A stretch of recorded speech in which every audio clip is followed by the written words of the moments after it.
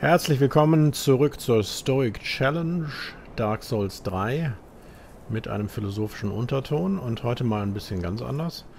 Wir stehen hier ja außerhalb des Boss Fogs vom Dancer of the Boreal Valley, äh, mit dem ich bislang noch nicht so richtig klarkomme und anstatt, dass ich jetzt da reingehe und mir den Schädel einschlage an dieser schön animierten Figur, gehe ich mal hier die Treppe runter. Sucht euch zu Hause beim Video gucken einen bequemen Stuhl, falls ihr nicht schon irgendwo bequem sitzt. Also einen, der nicht irgendwie nach fünf Minuten anfängt, sich unbequem bemerkbar zu machen. Einer, in dem man tatsächlich auch längere Zeit relativ bewegungsfrei sitzen kann. Setzt euch da gemütlich hin und dann schließt die Augen. Das ist jetzt ein bisschen ungewöhnlich für ein YouTube-Video. Vor allem für eins, in dem es ums Spielen geht, aber macht mal mit. Schließt die Augen.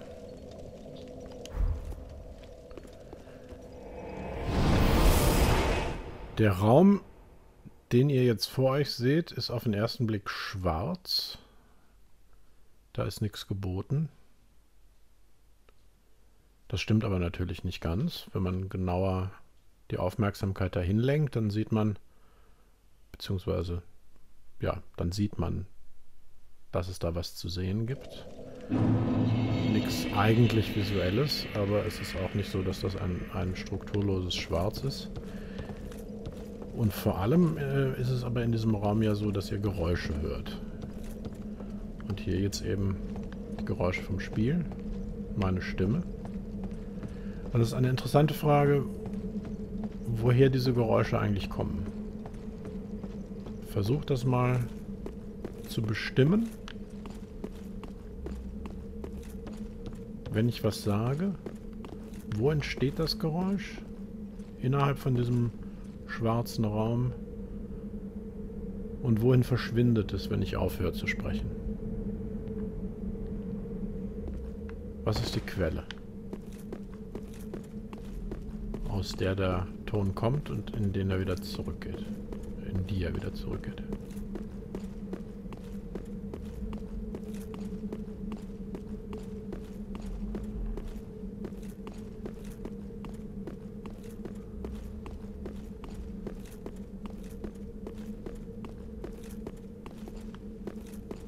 Und jetzt zum Beispiel die Geräusche dieser Fußtritte. Produzieren die ein visuelles Bild in diesem Raum, in dem ihr die Augen geschlossen habt. Seht ihr da was, wenn ihr diese Geräusche hört?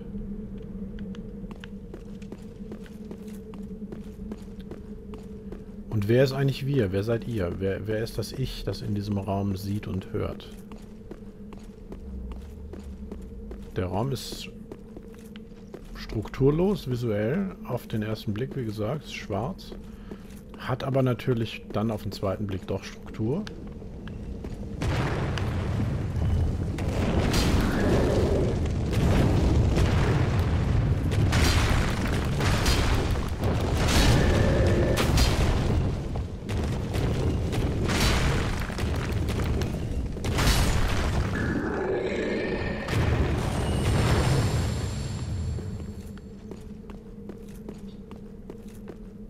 Und in der Struktur irgendwo ist das Ich verborgen.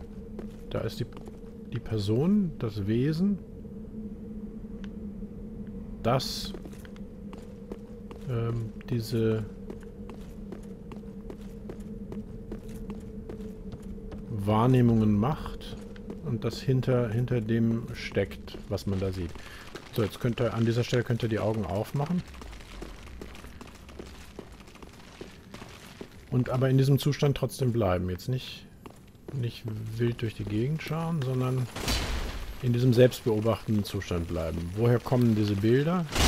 Wo, wo spielen sich diese Bilder ab? Diese Echse, die ich jetzt hier gerade erlege. Hier ist noch eine. Das ist in einem trivialen Sinn, ist das natürlich in dem Videofenster und äh, in diesem Spiel und im Internet all diese Dinge stimmen. Aber das ist nicht das Interessante daran. sondern die Frage ist, innerhalb dieses kognitiven Raums, den wir hier erkunden, wie kommt es zu diesen Bildern und kann man die festhalten? Wir haben jetzt gerade diese Echsen gesehen. Jetzt sind diese Echsen weg. Wir können uns noch erinnern, die sind in einem gewissen Sinn auch noch bildlich vorhanden. Da war jetzt wieder eine. Aber wir können sie nicht zurückholen. Wir können, abgesehen von der Erinnerung, den, den visuellen Eindruck dieser Echse nicht zurückholen. Das ist unserer Kontrolle vollständig entzogen. Wir sehen das, was von außen kommt.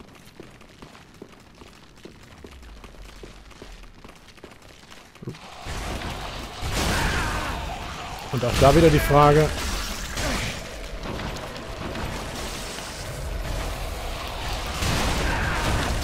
wer ist dieses Wir eigentlich? Der oder das da was sieht.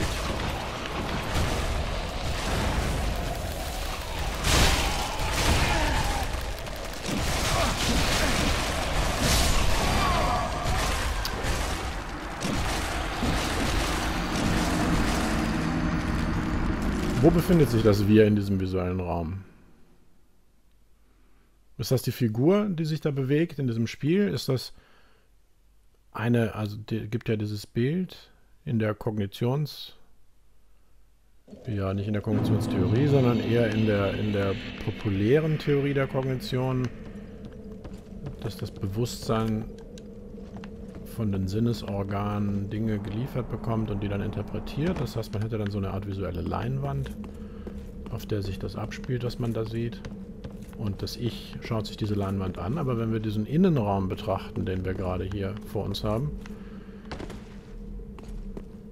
finden wir da ein Ich.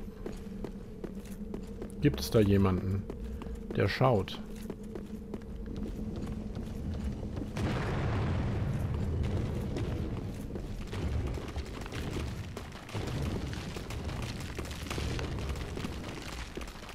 Gibt es da jemanden, der hört?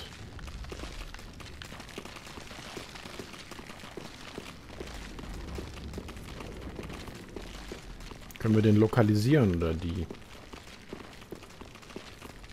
Wer ist das? Ist das identisch mit dem, was wir ah, unter unserem Ich verstehen?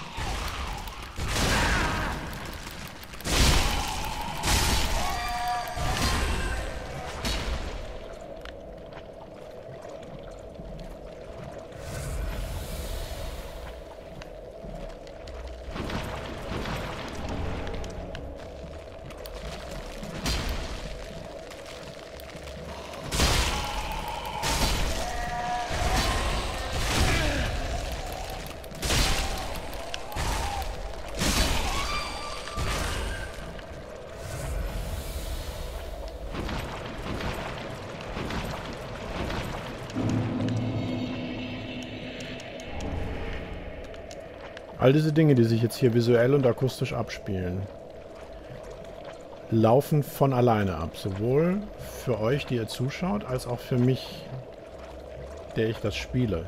Ich habe ein bisschen mehr Kontrolle darüber, aber das ist nicht viel.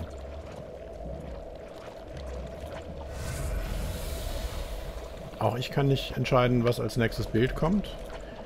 Ich kann nur die Kamera lenken. Und das hat natürlich einen scheinbaren Einfluss darauf. Aber in Wahrheit weiß ich natürlich genauso wenig wie jeder andere von uns. Wenn ich jetzt die Kamera nach oben lenke, was werde ich da sehen? Und trotzdem habe ich natürlich vielleicht weniger das Gefühl, davon überrascht zu werden als ihr. Weil ich die Illusion dieser Kontrolle.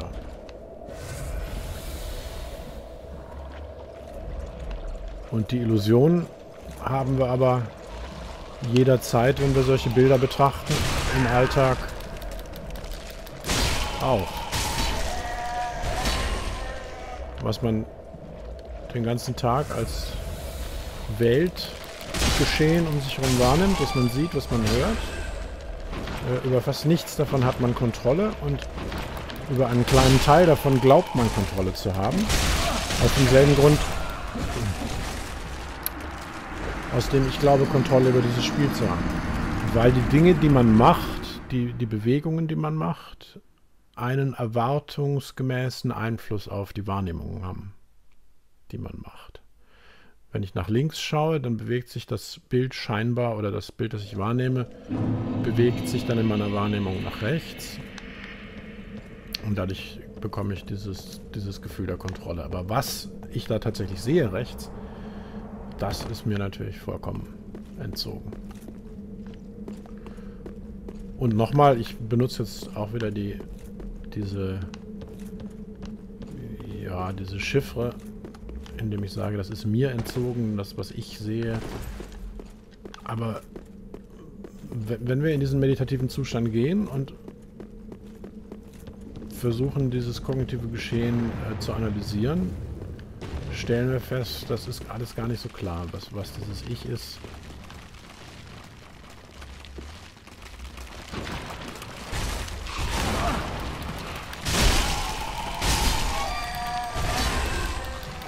Wie das Ich sich vom Nicht-Ich unterscheidet.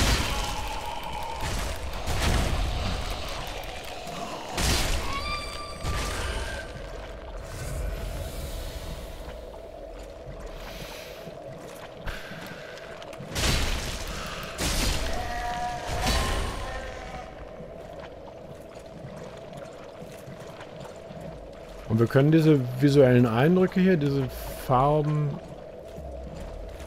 einfach über uns drüber fließen lassen. Also eben von außen kommende, nicht kontrollierbare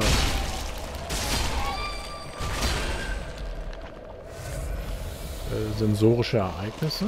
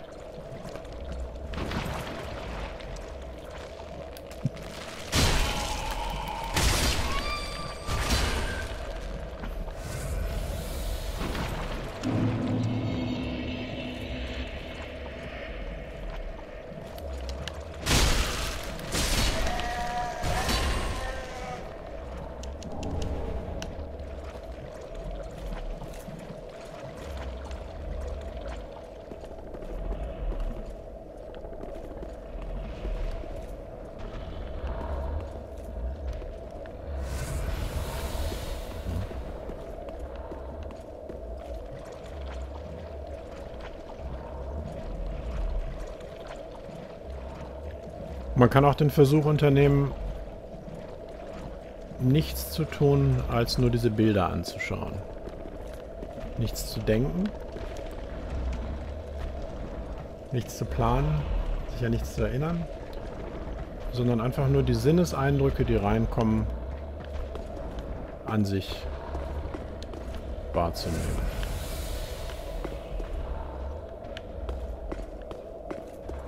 Und dabei wird man feststellen, dass das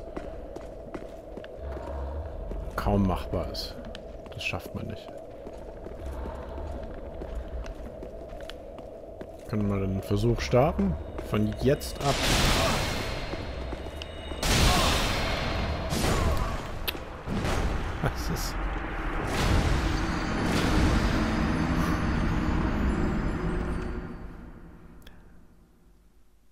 Einfach nur sehen, was ist da. Meinetwegen, welche Farben sind da, welche Formen sind da, wie, wie entwickelt sich das visuelle Geschehen, wie, wie korrespondiert das mit den Tönen, aber keine inhaltlichen Gedanken. Und wenn doch welche kommen, dann die Aufmerksamkeit darauf lenken, woher kam der Gedanke und wohin geht er zurück. Das ist bei all diesen Sinneseindrücken auch eine interessante Frage. Woher, woher kommt das Bild? Wohin verschwindet das Bild? Woher kommt der Ton? Wohin verschwindet der Ton?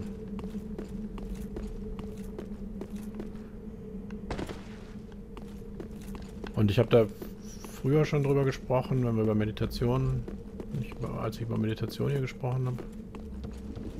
Das Wichtigste ist, wenn sich ein Gedanke einschleicht in die Meditation, ich, ich bringe ja hier auch einfach durch meinen Vortrag Gedanken ins Spiel.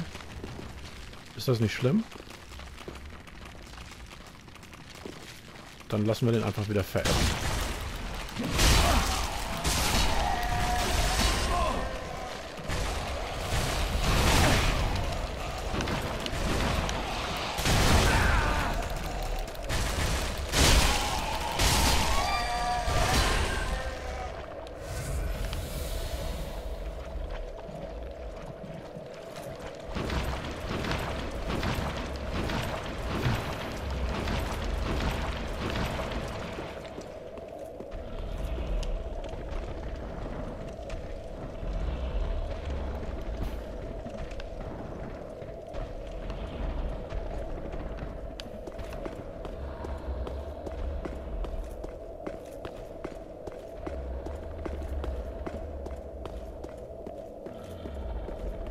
Das Auftauchen von einem Gedanken einfach zur Kenntnis nehmen. Versuchen die Frage zu beantworten.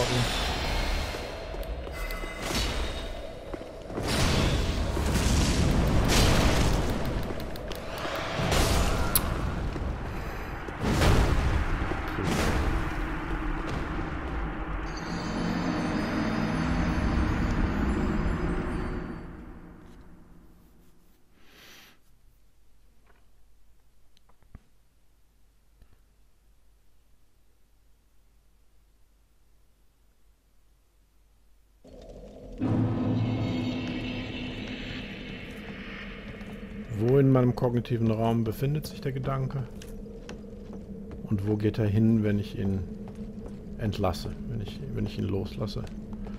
Wenn ich wieder zurückkehre zu diesem Zustand, in dem ich einfach nur wahrnehme, was passiert.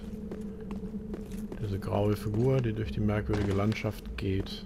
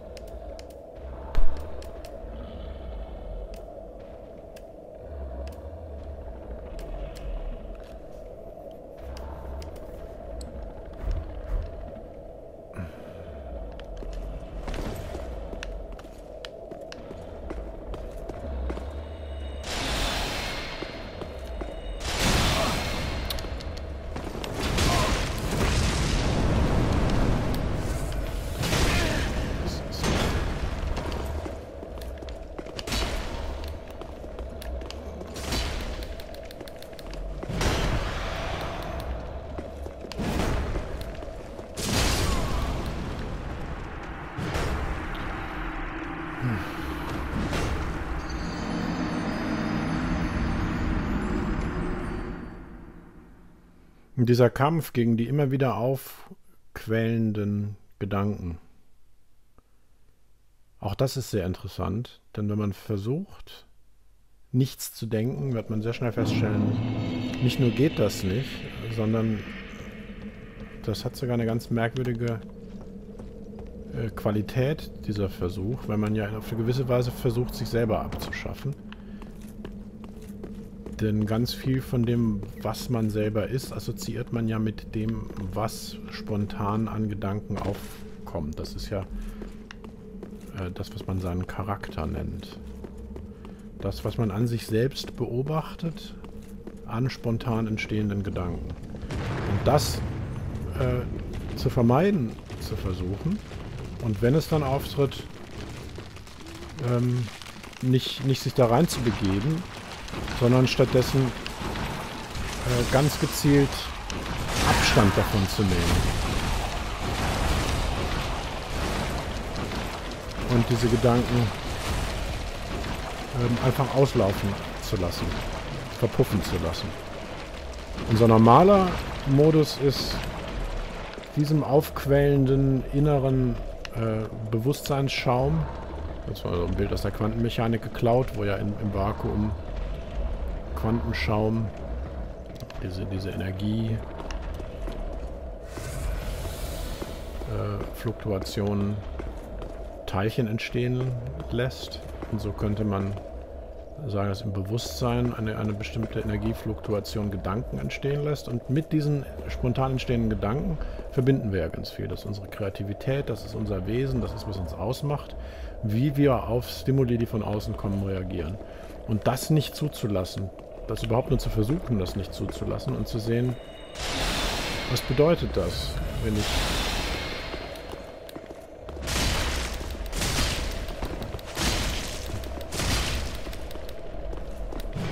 diesen wesentlichen Teil meiner Person äh, versuche nicht zu erlauben.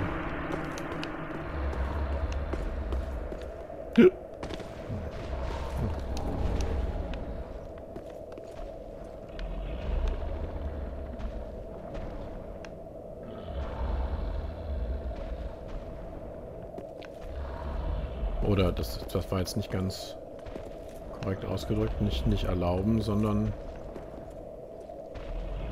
nicht festzuhalten. Nicht daran festzuhalten. Das, was sich äh, im, im Bewusstsein automatisch ereignet, das nehmen wir wahr und lassen es wieder gehen. Und identifizieren uns vor allem nicht damit.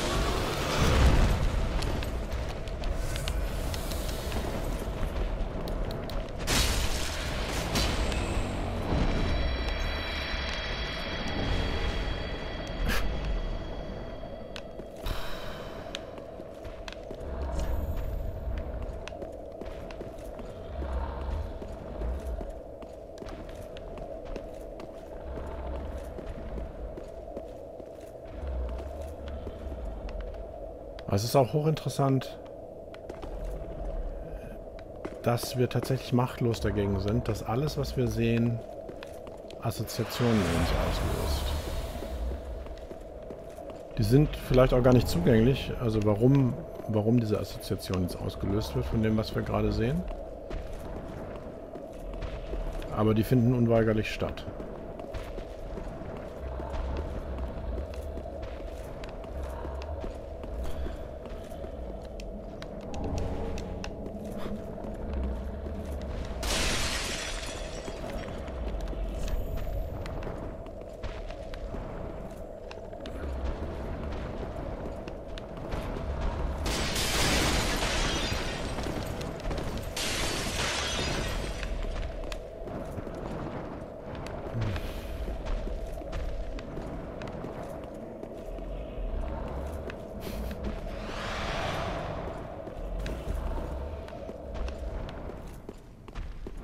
Vielleicht führt auch hier diese Szenerie in dieser albtraumhaften Unterwelt mit, mit diesen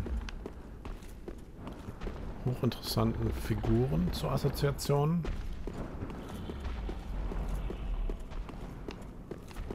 Wo kommen die her? Sind die kontrollierbar? Haben wir einen Einfluss darauf, was wir assoziieren?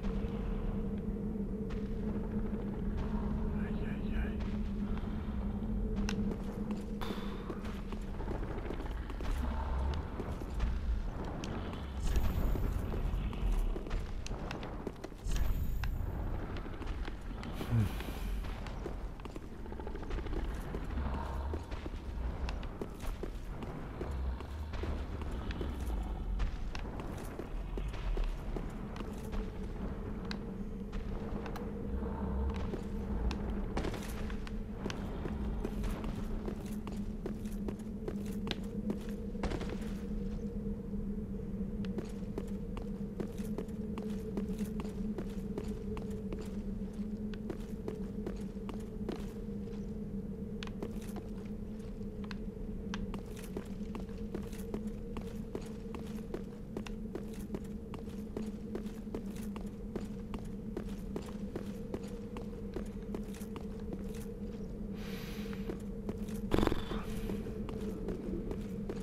Na gut. Danke fürs Mitmachen von diesem Versuch, wenn ihr den mitgemacht habt. Das war ein Versuch, eine Achtsamkeitsmeditation mit diesen Gewaltorgien in diesem Spiel zu verbinden.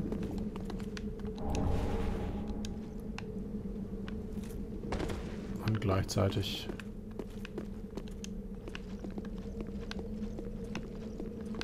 die Profaned Capital ein bisschen zu erforschen. Die das Interessante, ich habe schon viele von diesen Meditationen mitgemacht. Mindfulness heißt in dem Englischen. Den schon mal erwähnt. Sam Harris ist der Meditationslehrer, bei dem ich die am meisten gemacht habe. Und das sehr Interessante, was ich an dieser, das sehr Interessante an dieser Technik ist, dass diese Selbstbeobachtung, die dabei zentral, eine zentrale Rolle spielt, ähm, und diese diese Bewusstheit dafür, dass man keine Kontrolle über sein eigenes bewusstes Erleben hat, sondern dass man da eigentlich nur Zuschauer ist. Das hat profunde Konsequenzen für ganz viel und gleichzeitig ist aber die Technik ja die, dass man, äh, also wenn ich sage profunde Konsequenzen, dann ist das ein logischer Gedanke, dann ist das eine Folgerichtigkeit, dann ist das ein Ursache-Wirkungsprinzip, all diese Dinge.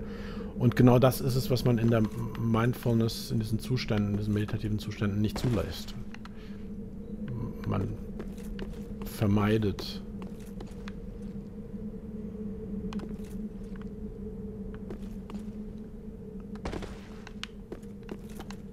Äh, eben möglichst äh, viel vom, vom logischen oder, oder systematischen Denken. Und beobachtet stattdessen, was, was das Bewusstsein sonst noch so tut.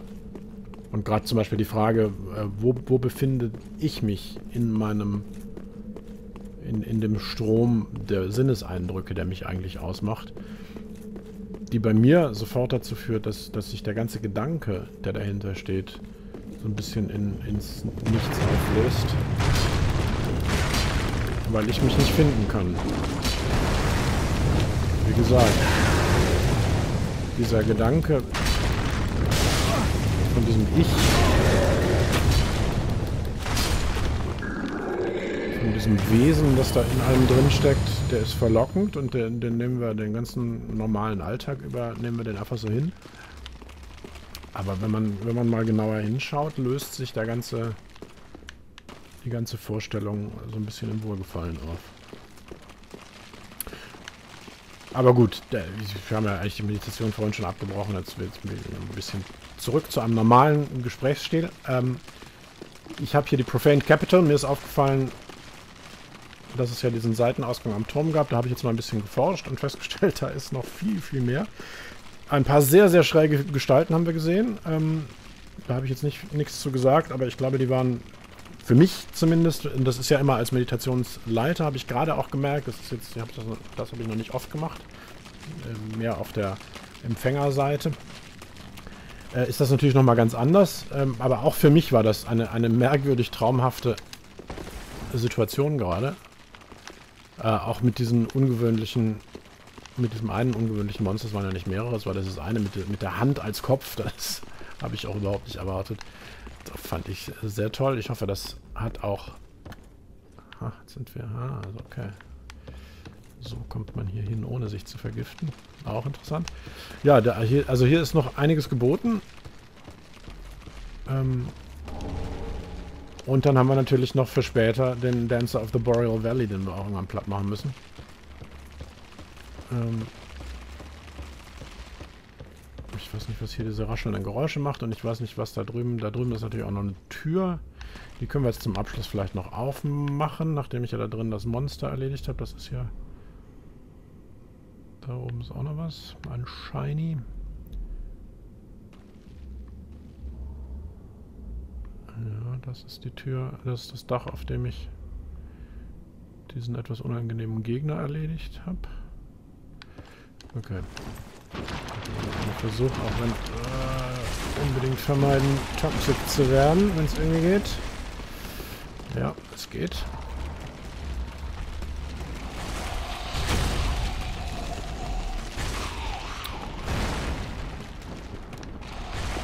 Okay, da kommen wir nicht rauf.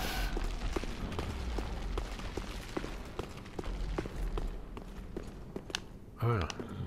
Das habe ich vorhin offensichtlich übersehen. Auch interessant.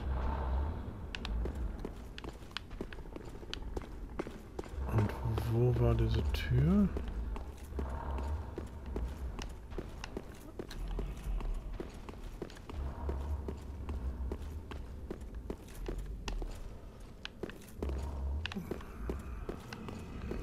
Hier war ich glaube ich noch gar nicht. Wo war denn die Tür? Aha. Ein Weg zurück in Elfield Dungeon.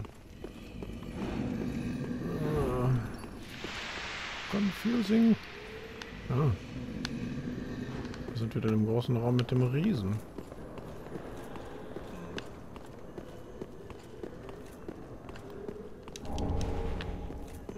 Sieh mal an. Ein Schlüssel. Ah, also es sieht sehr danach aus. Uh.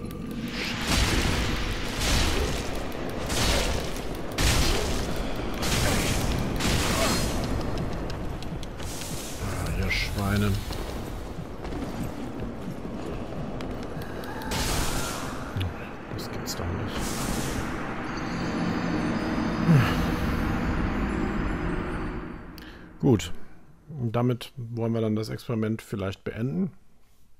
Denn da möchte ich jetzt, ich weiß auch gar nicht, ob ich da nochmal hinfinde. Ja, wohl doch. Nur die Treppe rauf.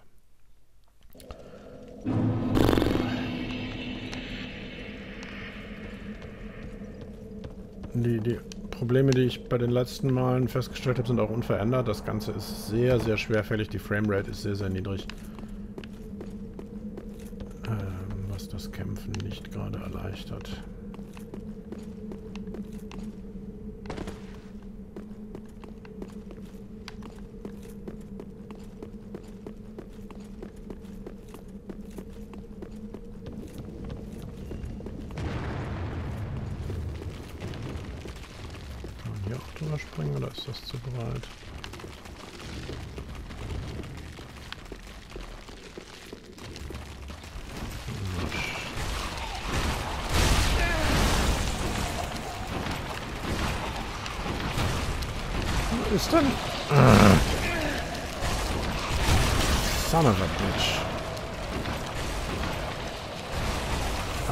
Toxic ist wirklich absurd unerfreulich. Es hält ewig vor und macht ganz viel Health weg. Ganz, ganz ungesund.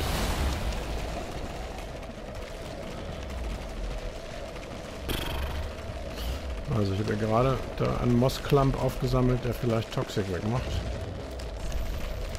Das ist ein Experiment. Oh, drei waren das sogar. Nein! Oh, nein, nein, nein, nein, nein, nein, nein, nein, nein!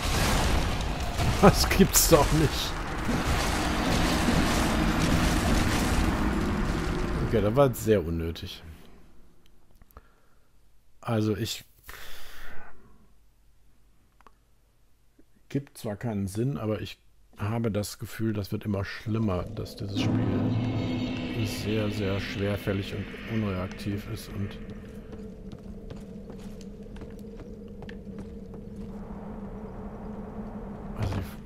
Ja, gut. Ich höre mal mit diesem Refrain auf, aber wir haben ja mit technischen Schwierigkeiten zu kämpfen, neben, den, neben allen anderen Schwierigkeiten. Ich mache jetzt noch einen Versuch zu verstehen, was dieser Bereich da unten für eine Funktion hat und diese Tür zu finden. Und dann lassen wir es endgültig gut sein. So, mal sehen, ob ich es vielleicht diesmal wieder schaffe, da ohne Toxic durchzukommen, dass ich nicht die ganzen Moss-Clumps verbrauchen muss.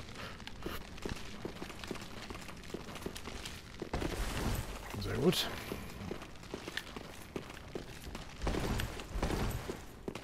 Okay. Kein Durchgang. Auch kein Durchgang. So, jetzt kommen wir hier. Aha. Gut, das kann schneller Weg. Ah, aber hier in der Mitte ist auch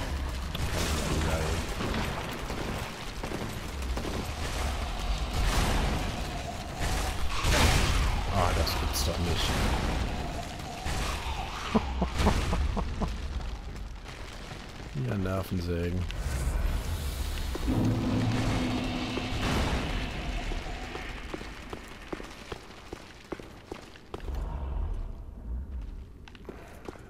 War die war, war die unten vielleicht, diese Tür? Das könnte sein.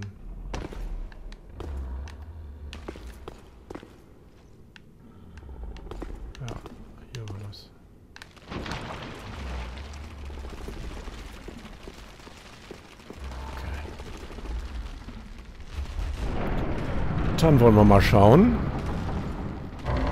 Was da wieder für eine... Äh, noch so einer. Uff.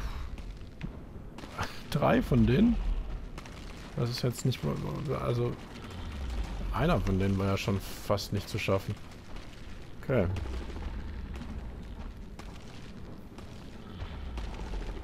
Sehr interessant.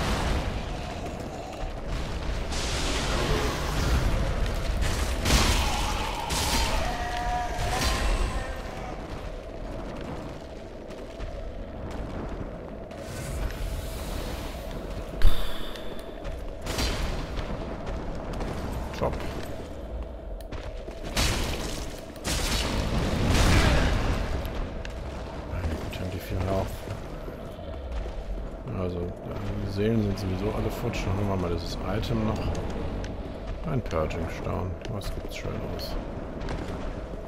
Ein Purging Stone. Drüben ist noch was. Vielleicht. Ich getäuscht. Eine Kerze.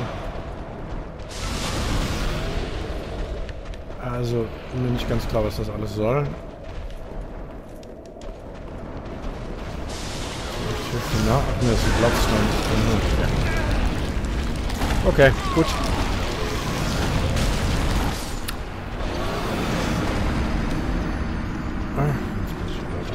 Danke fürs Experimentieren, danke fürs Dabeisein. Bis zum nächsten Mal. Guten Abend.